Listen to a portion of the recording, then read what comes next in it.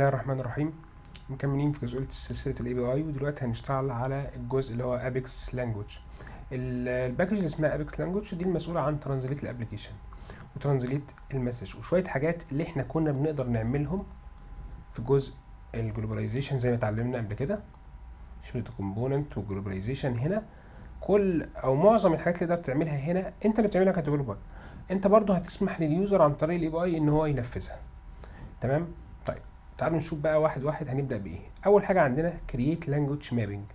وده عشان آه تقدر تعمل آه لغة تانية لل application بتاعك. فأنت محتاج تنده ال package وبعدين تنده ال procedure بتاعتنا.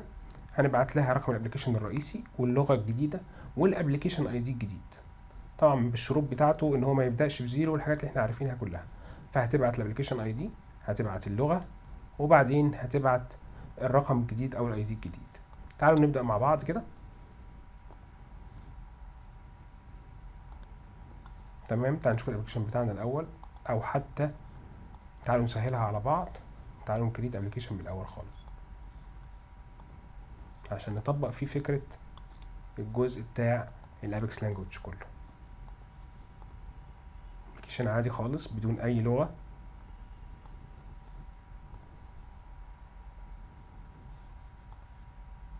خلينا نقفل ده خالص.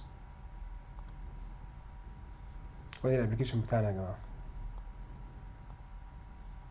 ونبدأ بأول حاجة. هن create region عادي. ونسميه برضو APEX region APEX language ونشيل ده. ونبدأ هنا نحط زرار. أول button عندنا بينفذ اللي هي create language mapping هيعمل لي آه لغة تانية لل application.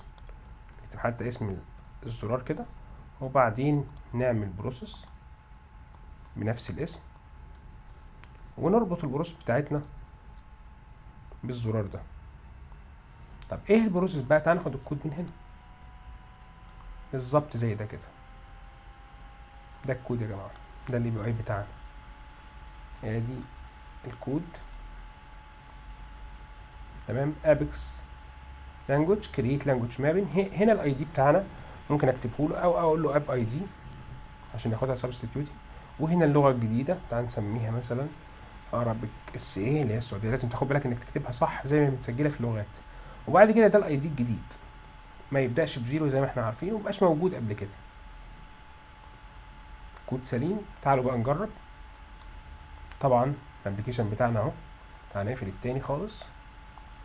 وادي shared component وادي اللغات.